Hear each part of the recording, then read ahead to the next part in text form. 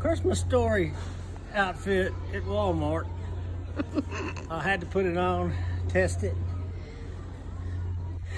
Uncle Fred, what do you think?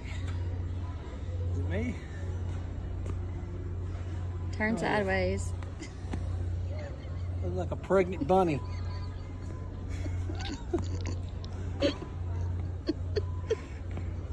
okay.